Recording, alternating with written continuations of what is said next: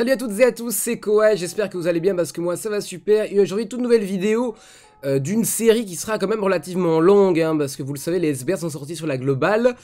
Euh, il y a également Janemba, hein, parce que là on va parler de, de Pays mais également Janemba qui euh, s'annonce. Donc on va avoir pas mal de choses, pas mal de vidéos à faire dans les jours qui suivent. Donc vous allez avoir droit à une forte activité sur la chaîne. Mais donc euh, pour revenir à la vidéo d'aujourd'hui, nous allons euh, donc parler de Peikwan. Hein, donc on va revenir sur ses stats, euh, sur ce qu'il propose. Et puis nous allons le tester en combat long et en combat court. Voilà. je vous avais dit la dernière fois que à partir de, cette vidéo-ci, je ferai les choses un petit peu mieux. Bah voilà, j'ai réussi à, à, mettre en place un petit peu mieux les choses, notamment grâce à Marv qui me prête son compte déjà pour ces vidéos-là, donc euh, je le remercie. J'ai également tenu compte de vos euh, commentaires, enfin voilà, j'ai lu en tout cas vos commentaires, et j'ai vu qu'il y avait euh, des débats, hein. il y avait des débats concernant... les, gens sont relativement contents en tout cas de ce que j'ai vu, vous êtes relativement contents du fait que je teste ces cartes à arbre gratuit, qui me paraît relativement cohérent finalement, enfin moi ça ne me surprend pas. Maintenant je vu qu'il y avait des débats sur les liens, certains voudraient les voir lien 10 quand même, d'autres préfèrent les liens 1, d'autres parlent encore de lien 5, donc je vais peut-être mettre dans la description un petit sondage par rapport à ça, euh, pour voir ce que, ce, que ça donne. Euh, pour consulter, je dis pas forcément que je prendrai l'avis qui reviendra de ce sondage là, parce que j'aime bien faire les choses comme j'ai envie de les faire bien sûr, mais euh, disons que je trouve ça quand même intéressant de voir, vu qu'il y a quand même pas mal de d'avis divergents sur la question des liens. Voilà, moi je continue sur ce test-là de, partir en lien 1, simplement parce que je pense que c'est pas forcément pertinent de partir tout de suite sur des liens indices, vu que ça demande beaucoup d'ACT. Bref, je vous laisserai un petit sondage par rapport à ça. Donc, euh, pour rappeler un petit peu la structure de la vidéo, hein, comme je l'ai dit, on va parler donc euh, des stats de Pays puis on va aller en combat lent, et puis en combat court, en SBR héros des films plus précisément, parce que c'est le seul SBR catégorie dans lequel il est jouable, je vais pas aller en extrême SBR avec lui, euh, parce que c'est pas tellement là où j'ai envie de le jouer, bref.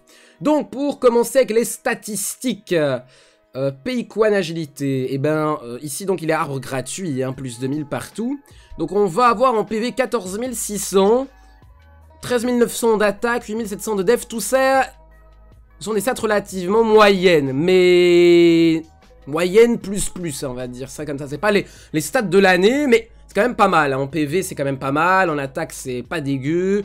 En def, c'est bien aussi. Voilà, donc ce sont des stats quand même euh, relativement intéressantes à ce niveau-là. Euh, en stats de base, on est quand même sur des choses agréables. Vous voyez à gauche donc euh, il y a la traduction que j'ai refaite en français en vis-à-vis, parce que forcément on est sur la Jab donc euh, comprend pas comme ça. J'ai la traduction vis-à-vis à côté, vous, vous puissiez suivre en même temps. En termes de leader, on va avoir la catégorie espoir lié. Bon là je l'ai traduit comme ça, ça me paraît cohérent. Espoir lié, un lead à 170% qui plus 3 et surtout un sublead très intéressant parce que c'est quand même 130% euh, de stats, qui plus 3 pour la classe super, c'est quand même un leader rainbow, euh, c'est quand même énorme. Alors pour faire un, tour rapide hein, de cette catégorie euh, espoir lié, c'est pas ma catégorie favorite, très honnêtement, je la trouve assez, pas chier, mais extrêmement limitée. on va retrouver quand même Gotenks Intelligence, Goku Genki Dama, on va retrouver Goku Namek, va retrouver Ney, bon voilà. Euh, Gogeta LR, on va retrouver Mirai Gohan, on va retrouver les Goku euh, Genki Dama de la saga de Buu, Gogeta, Gotenks, Majin Vegeta, même les Mai. Euh, on va retrouver également le Vegeta LR hein, qui est sorti récemment avec l'aspect jointe, Goku de Goku SJ de Ange, Goku 4 Full Power, enfin voilà. C'est une catégorie assez limitée, comme vous le constatez. Il y a Tenshinhan hein, quand même, le Neo Support, et puis même le support Saga de qui est pas dégueu. Il y, a des choses à Majin Vegeta, enfin voilà, il y, a des choses mais c'est relativement limité. C'est pour ça que je ne, je, les testerai dans sa team qu'en combat lent. J'ai fait une team en combat lent avec lui, qui est pas dégueulasse honnêtement, mais je trouve ça un petit peu compliqué à vraiment exploiter correctement hein, sa catégorie. OSB héros des films, bah voilà, on va le jouer donc en héros des films. Au niveau de l'attaque SP, quand même pas mal de choses. Hein parce qu'il va infliger des dégâts immenses, il va réduire grandement l'attaque, c'est très très fort en SBR, hein, comme vous, l'imaginez bien. Il va augmenter grandement l'attaque pendant un tour, bon tout ça c'est très bien. Attaque SP jointe cette fois-ci, la condition étant d'avoir, c'est là la condition, d'avoir euh, dans le tour soit un Goku Ange, soit un Vegeta Ange. Alors, pour ceux qui se posent la question, a priori, on parle bien euh, de toutes les formes de Goku Ange et toutes les formes de Vegeta Ange. Hein. C'est pas des formes de base spécifiquement, sinon ce serait un peu l'enfer. Donc typiquement Gogeta LR Endurance, ça fonctionne. Voilà. Par contre, les Gogeta, je sais que beaucoup de gens s'attendaient à ce que ça fonctionne avec les Gogeta In, Gogeta Puis. Bah non, ça ne fonctionnera pas. Il faut bien un Goku Ange ou un Vegeta Ange. Hein, bah, S'il y a les deux, tant mieux, hein, mais il en faut qu'un des deux.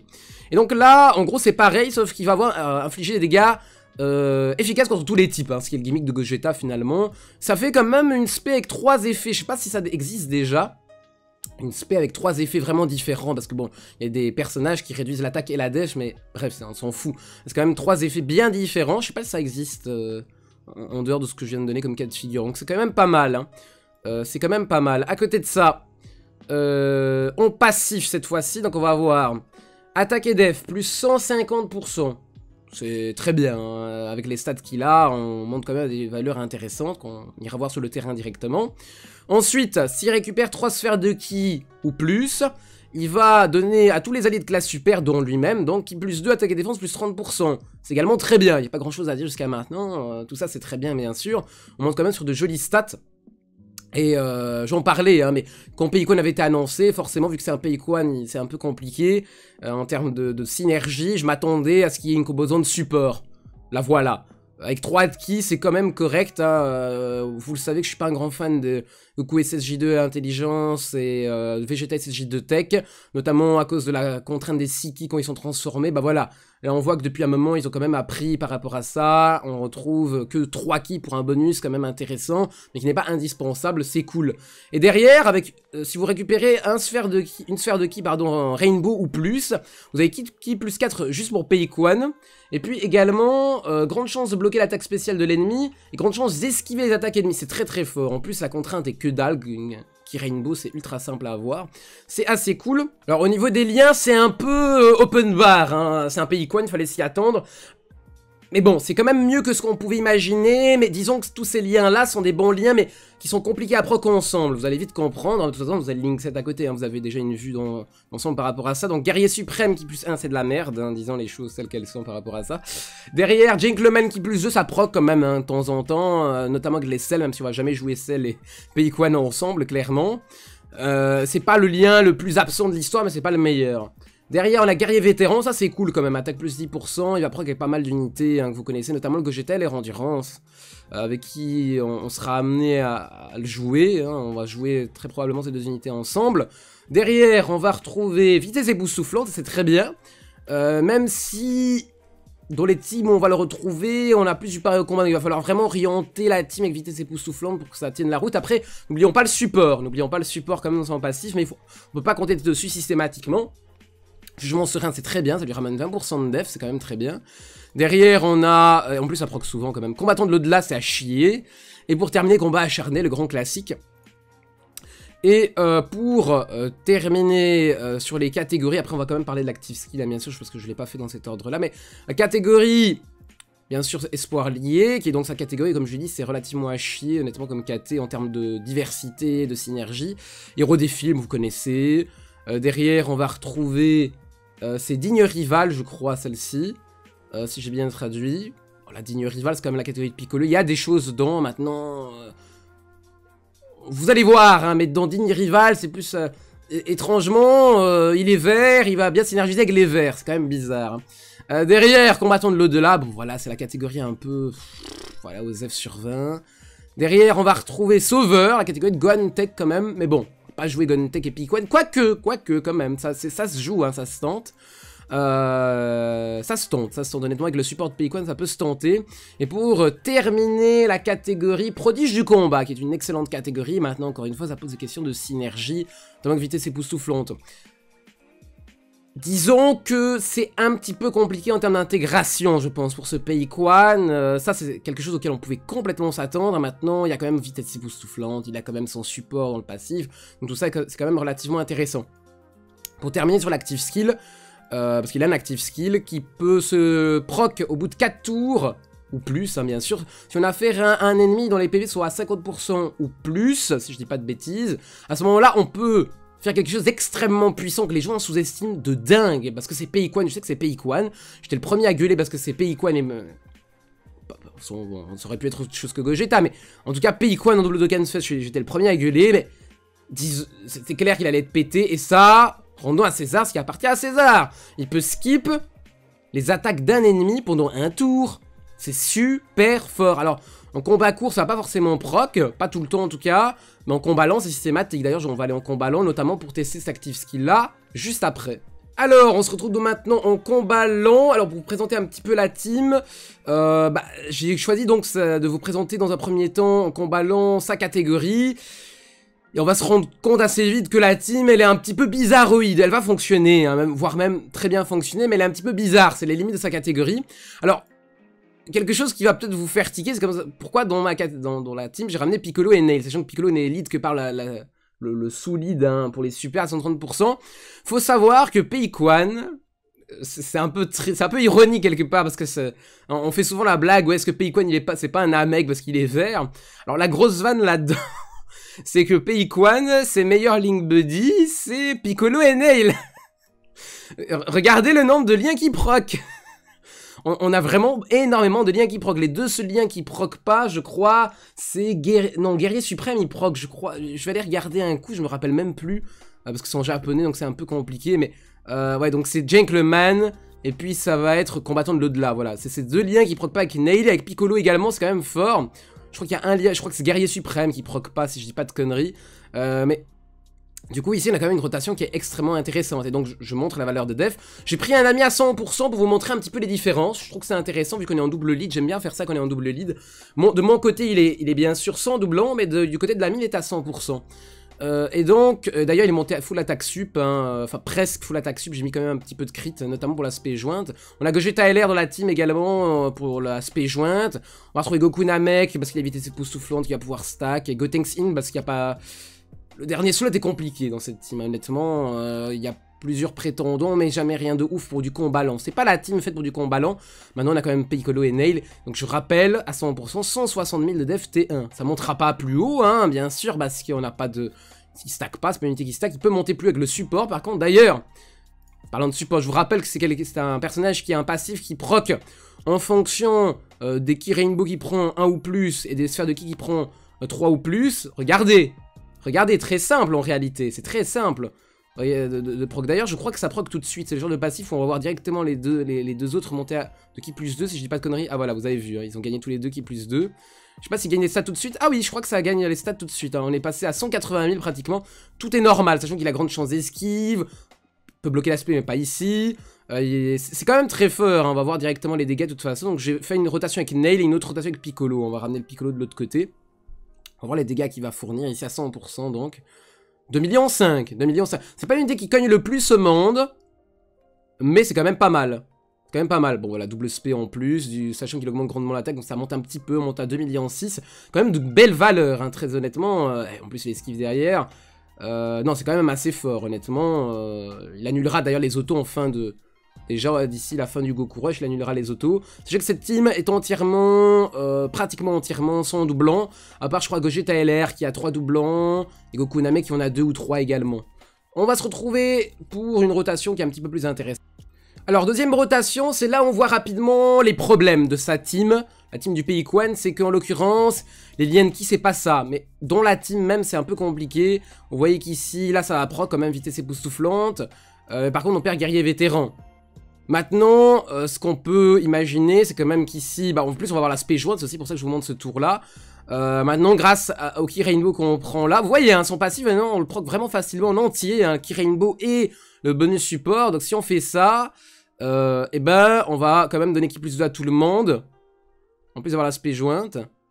Ça va pas proc, là J'ai pas eu l'impression que ça va proc. Alors, c'est assez drôle, parce que j'ai l'impression qu'en fait le passif qui concerne le bonus support pour les super, faut que ce soit des ki d'une couleur précise et pas des rainbow. Parce que là, si vous vous souvenez bien, j'ai pris 3 sphères de ki rainbow et seulement 2 sphères de ki d'un certain type. Donc c'est peut-être... C'est peut-être ça, faudra confirmer pendant la run. Mais du coup là, ça va être l'occasion de voir si effectivement... Il faut bien prendre des sphères de ki d'une certaine couleur pour proc le, passif, hein, on va voir tout de suite. Et oui, effectivement. Effectivement, il faut faire ça, quoi. Euh, donc le, passif support, c'est pas des sphères vraiment n'importe comment, faut quand même avoir minimum 3 sphères de ki d'une certaine couleur. En plus du rainbow, hein, du coup, si on veut tout le passif complet. C'est intéressant à savoir, je l'avais pas, euh, pas compris comme ça dans la traduction. Je l'ai pas traduit exactement comme ça non plus, donc euh, quand même intéressant à voir. Ici, on a une rotation qui est pas dégueulasse, parce qu'on va l'avoir sans doublant, mais avec l'aspect jointe, avec Piccolo en plus, quand même, donc pas mal de liens qui, qui rentrent en jeu ici. Donc je vais quand même vous remontrer cette rota-là. Mais euh, c'était intéressant de confirmer cette chose-là. Mais pour le moment, vraiment une prestation ultra intéressante. Hein. Les grandes chances d'esquive, 50%, on les sent vraiment de ouf. 1 900 doublants, hein. sans doublon à côté de Piccolo, du coup il lui ramène beaucoup de liens. Euh, en plus des gars efficaces encore une fois, c'est vraiment, très impressionnant la prestation du Pays Quan jusque maintenant. C'est vraiment ultra fort. Hein. bien sûr, on va regarder dans les dernières phases du Goku Rush. Je vais vous passer euh, tout ça. Je vais arriver vers la dernière phase et on va regarder à, ce niveau-là ce que ça va donner. Du coup, je suis arrivé à Migate Int ultra facilement. Je crois que j'ai claqué simplement un C8 à un moment donné parce que j'étais pas serein. Honnêtement, il servait à rien du tout. Hein, je vous le dis clairement. J'aurais pu m'en sortir sans, sans aucun problème. Vous voyez que je suis quasiment full vie. J'ai perdu quelques PV euh, le tour précédent. Et voilà, le C8 je l'ai claqué aussi parce que c'est une team qui est relativement lente. Vous voyez qu'on est à 26 tours, c'est quand même beaucoup j'ai un petit peu la flemme. Donc maintenant on va tester l'active skill, donc je rappelle qu'il consiste à reporter les attaques d'un tour, je pense que les gens sous-estiment largement cet active skill. J'ai envie également de tester euh, comment ça peut interagir, enfin comment ça fonctionne vis-à-vis du ghost. Parce que le ghost vous savez on peut pas le cumuler, hein. on peut ghost qu'une fois et le tour d'après on est obligé d'encaisser les attaques. Je vais de voir si c'est le même effet ou pas. Donc on va regarder, hein. donc je vais lancer. Normalement, les attaques vont être reportées. Et puis, euh, on va arriver au tour d'après, on va constater ensemble si jamais ça marche ou pas. Donc, si je suis motivé, je vous fais un petit montage, parce que vous savez, moi, pas je peux pas vous partager le sang, parce que j'utilise un mirroring mon téléphone, bref. Si je suis motivé, je vous mets le, je vous mets euh, le, le, je vous fais le montage manuel de l'active skill, attention. Hein. Donc, hop. C'est juste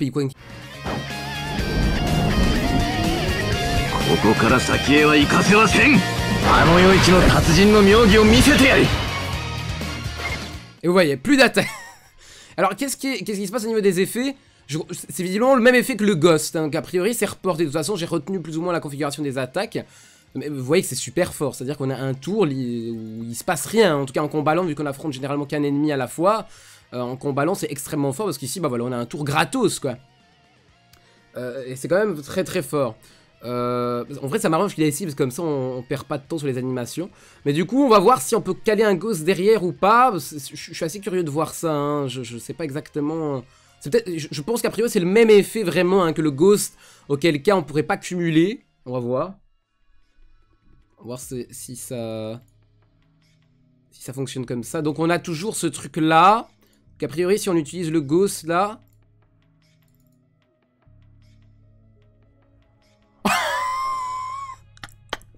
Non Mais non Ça fonctionne Oh non Non mais c'est trop fort Parce que là ça veut dire... Non Mais c'est abusé C'est abusé C'est abusé, c'est-à-dire qu'on peut enchaîner deux tours entiers, on prend rien parce que forcément, là, on va, on va retourner en fait sur le pays Quan qu'on a déjà utilisé. Donc, on va pouvoir utiliser son active skill. Mais. Euh. Ouais, c'est. c'est, One eternity later. On se retrouve donc maintenant en SBR Héros des comme annoncé plus tôt. La différence quand même que j'ai noté qui était tout à fait envisageable de repartir en double pays Quan, ce que je trouve quand même intéressant parce que finalement l'idée c'est de tester pays Quan ici. Euh, je suis pas un grand fan de Gogeta DBS en plus, donc ça tombe relativement bien. Euh, sachant que dans ce, cette team, il y a quand même, je pense, Genki Dama, le Gogeta Puis. J'aurais pu prendre Gogeta Int. Maintenant, je travaille sur, une sur la base d'une box de mon modérateur, comme je l'ai annoncé en début de vidéo. Et tout n'est pas fait parce que c'est un moment qui joue plus tellement. Donc euh, voilà, pour le moment, j'ai le Puis ici. On aurait pu imaginer très bien le Int hein, qui est meilleur, bien sûr. Gogeta LR, tout ça, c'est dans le lead. Hein. Hein, tout ça c'est dans le lead, d'ailleurs c'est un peu bizarre, c'est marrant que c'est fait comme ça parce que du coup entre les deux pays Quan tout le monde est lead et en dehors c'est le lead, le sub-lead. Donc Godku bien sûr parce que contre les, boss des films c'est fort et puis on va retrouver le, Vegeta Stunner, voilà c'est une team comme une autre, c'est pas la meilleure forcément mais c'est pour voir ce que ça peut donner. Alors L'idée ici peut-être, je pense que c'est pas euh, complètement débile de voir si no item cette rotation aussi elle peut tenir. Voir un petit peu ces pays Quan, euh, il en a dans le ventre ou pas. Euh, alors en l'occurrence pour ça, euh, ce que je vais peut-être faire c'est prendre les keys ici hein, pour avoir son esquive. Alors là ici ça va être très fort, n'oublions pas qu'il a dans son passif avec le, le, key Rainbow l'esquive, mais également le blocage de spé, grande chance. Donc autant le rentabiliser tout de suite. Sachant qu'ici on va voir Daizu, euh, qui est donc c'est Thales, Daizu, Amando, Kakao et Rezun. Hop, nous on va aller sur, non pas sur Kakao, sur Daizu, comme ceci. Donc on va voir tous les boosts qui proc, hein. hop, voilà. Qu'on est même à... Sachant qu'ici, euh, le mien est à 100%. Cette fois-ci, c'est l'ami qui est sans doublant. Donc là, on est à 150 000 de def. Ce qu'on va faire derrière également, euh, c'est peut-être des buffs. Hop, le... cacao. En essayant de garder quand même les Ki Rainbow pour le Genki Dama. Le Genki Dama va bloquer l'aspect de Thalès. On va voir un petit peu ce que ça donne si euh, c'était une bonne idée de partir sans item. 21 000, il prend, il prend pas grand chose hein, ici honnêtement. En plus les esquives il passent bien. Par contre 173 000, forcément c'est le contre-type qui joue. Là on va quand même fortement debuff. Grande chance, ok. Blocage de spé qui passe. Ouais, ok, Pays belle prestation là quand même. Après on a pas pris de spé dessus, hein, c'était pas le but. Mais on va, voir quand même si le tour passe. Ils ont aussi peu de PV. Parce que j'ai pas encore fait sur la glow, le SBR redéfilmé. Vous vous souvenez pas qu'ils avaient aussi peu de PV, hein. C'est... Ouh, c'est des... C'est fragile un peu. Ah ouais, d'accord, c'est... 22 000, et puis derrière, du coup... 6 000, ouais, non, mais c'est... Ah, bon, quand même l'aspect qui tombe. 278 000, ok, mais on est en vie. On est en vie, et Payquan a fait une très belle prestation. Alors là, on va... Donc on va voir maintenant avec le, le, sans doublant, ce que ça peut donner. Euh, ce qu'on va faire, c'est peut-être... On va garder Thalès en vie, de toute manière, euh, pour le go coup. Donc on va faire ça, on va envoyer Peikwan. On va peut-être même à désavantage, parce qu'il va avoir l'avantage type naturellement grâce à l'aspect jointe ici, parce qu'il y a Gogeta dans la rotation quand même. Hop. Et puis on va tuer ici, hein, comme ça. Je pense qu'on est pas mal là, hein. à voir. 110. God coup, de toute façon ici, il a la réduction de dégâts grâce à Thalès, vu qu'il est boss de fil, donc ça c'est fort. Hein. Là j'enchaîne, je vous montre directement les rotations d'affilée, euh, pour vous ayez une idée directement, la comparaison... Euh, à 100% sans doublant. Euh, après, pour le beau jeu, j'aurais dû mettre Payquan au début, mais bon... Je joue comme je jouerais normalement, quoi. Ok, bon... Euh, il, veut nous battre... Ouais, d'accord. Coup, c'est vraiment ultra fort dans ce SBR. Ok, du coup, ici, on va avoir l'aspect jointe, sans doublant. Combien Réseau il va bouffer? Quand même à contre-type, hein, je rappelle, vu qu'il a ici, il a les dégâts efficaces. Grâce à l'aspect jointe. Il se fait propulser, il est mid-life. Et on, quand même, on tank bien, on tank bien le l'auto-attaque. Puis bon, Cacao qui se fait complètement projeter. Et non, c'est super fort pour le moment. Je vais continuer un petit peu. S'il y a des choses intéressantes à vous montrer, je, bah, vais vous les montrer tout simplement. Bon, et eh bien, je suis mort une fois parce que j'ai joué comme une merde. Je sais pas ce que j'ai joué comme un pied. Donc j'ai relancé une game, j'ai avec 200%, j'ai payé quoi de 100% des deux côtés parce que c'était un peu compliqué de trouver un 100 doublant, mais euh, c'est euh, beaucoup trop simple. Alors je sais pas si le SBR héros des films est, particulièrement simple, comme je dis, j'ai pas encore refait sur l'aglo, mais je sais qu'il est, je sais qu'il est pas trop dur, mais euh, je sais pas s'il est vraiment giga simple ou si vraiment on lui roule dessus. Parce que là, euh, j'ai claqué deux items depuis le début du combat. Un, euh, sachant que je joue comme une merde, hein, vraiment, hein, j'insiste, j'ai vraiment joué n'importe comment sur cette game, mais euh, sachant qu'il y en a un des deux, j'aurais pu clairement pas l'utiliser, euh, j'ai vraiment voulu sécuriser pour pas mourir. Donc là on arrive en Dokkan mode avec l'aspect jointe, 100%, euh, avantage type sur le dernier boss, enfin voilà. C'est complètement fumé, hein. ça n'a aucun sens, vraiment. C'est plus ou moins du même ordre, hein. c'est pas pour ça, que je vous ai pas remis d'autres extraits, mais c'est vraiment du même ordre que ce qu'on a pu voir sur le Goku Rush, hein. Mais là, avec l'avantage qu'on a le debuff qui fonctionne tout le temps, le blocage de spé et donc en fait on a une team qui a beaucoup de contrôle là-dedans, beaucoup de blocage de spé un peu partout ici, hein, comme je vous l'ai présenté au début. Donc en fait ça, donne des choses assez euh, terrifiantes. Oui, oui. je pense que le Hero des films est quand même un petit peu simple hein, là-dedans, faut pas non plus déconner, mais c'est euh, terrifiant. Terrifiant parce que j'ai pas la meilleure compo. J'ai pas la meilleure compo, donc le no item il est très facilement faisable ici. Euh. Euh, c'est ridicule. C'est ridicule. J'ai claqué deux items. C'est ridicule. Sachant qu'il y en a un, encore une fois, j'aurais pu ne pas le claquer. C'est absolument scandaleux. Franchement, c'est n'importe quoi. Donc voilà, en SVR, honnêtement, je vous ai pas mis beaucoup d'extraits, mais c'est parce qu'en fait, euh, c'est très simple. C'est juste euh, ce qu'on a vu en Goku Rush, mais avec tous les effets qu'on pouvait pas activer. En plus, donc le blocage SP qui revient. la team, en plus, beaucoup de contrôle, comme je l'ai expliqué. Euh, L'esquive, il prend tout son sens. Enfin, c'est juste une boucherie. Hein. Vraiment, on n'arrête pas de les... C'est boucherie. Boucherie. Pour conclure donc sur Payquan, c'est une excellente carte, on pouvait s'y attendre, hein. c'est un Payquan, donc c'est pas la hype de ouf, on pouvait donc s'attendre à ce que les stats suivent effectivement, hein. les stats suivent énormément, c'est une excellente carte, même sans doublant, vraiment très très très très fort, euh, lead vraiment très bon, euh, son passif est excellent, les passifs conditionnels s'activent très facilement honnêtement, euh, les 3 ki et la rainbow ça s'obtient super facilement, d'autant plus que dans la team que je vous ai présenté en SBR, il y a, y a des changeurs de ki rainbow, donc c'est vraiment super simple, donc vraiment la carte est excellente, maintenant je pense que si je dois quand même présenter un point faible de cette carte, à mon avis ça va être... Il y a le Link 7 qui est un petit peu compliqué, mais comme je l'ai dit, son passif qui ramène du ki euh, compense pas mal en plus des stats. Je pense que là où ça va pêcher, c'est qu'il va subir un petit peu le syndrome Piccolo au niveau des catégories. C'est-à-dire que malheureusement, il n'a pas vraiment beaucoup de catégories dans lesquelles on va, on va pouvoir avoir l'occasion de le jouer vraiment en force, hein, parce que cette catégorie, vous l'avez vu, elle est pas incroyable. C'est vraiment son sublead qui le, qui le sauve plus qu'autre chose à ce niveau-là. Il redéfile, bah voilà, le SBR est existant. Derrière Digne Rival, il n'y a pas encore de SBR. Euh, ça, c'est combattant de l'au-delà. il n'y aura pas de SBR. Euh. Après, c'est une mission du Goku Rush, ça peut être intéressant un jour, hein, bien sûr. C'est une mission du Goku Rush ce niveau-là, ça peut être cool. Sauveur, bah pareil. Et puis, euh, prodige du combat. Bon, ça, c'est une catégorie peut-être qui est déjà plus plus à la mode hein, du fait que le lead ce soit quand même SVLR puis, mais on n'a pas de SBR pour le moment. Donc tout ça, pour le moment, des six catégories qu'il a, et ça on pouvait s'y attendre, c'est Payquan encore une fois, il a qu'une catégorie vraiment, on va pouvoir le retrouver en SBR, sinon ce sera en combat long. En fait, c'est ce genre de carte qui est vraiment très forte.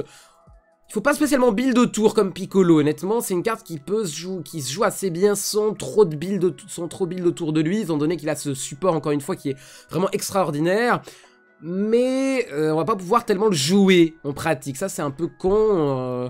alors que c'est vraiment une carte avec qui, bon voilà, j'ai pas encore... Là, ça fait plus ou moins une heure que je le joue un peu partout. Goku Rush, SBR, c'est une carte avec laquelle j'ai beaucoup de fun. Vraiment, je la trouve vraiment super cool. Euh, ils l'ont vraiment bien réussi hein. pour un Payquan, encore une fois. Moi, j'étais pas du tout en joué à l'idée qu'il y a un Payquan en double de Canfest. Maintenant, la carte est vraiment bien faite. Euh, elle est fumée en plus, euh, donc il y a tout ce qu'il faut. Mais à elle va, subir un petit peu ce syndrome-là. Donc la question de savoir si je vous conseillerais d'invoquer pour cette carte-là, je dirais que si vous, vous êtes prêt vous amuser sur des events tout à fait lambda avec, ok, mais il faut pas oublier que sur les events endgame, malheureusement pour le moment, il n'y a pas encore pas encore, j'insiste, hein, ça peut venir derrière. C'est ça l'avantage de cette carte, c'est que c'est une carte qui est bien pour l'avenir. C'est une carte vraiment qui est ultra fun à jouer, honnêtement, je trouve.